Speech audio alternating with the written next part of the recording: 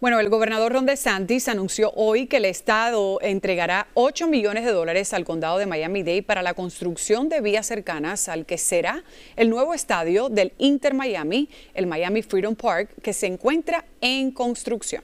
Se espera que el Inter Miami se estrene en ese estadio en el año 2026.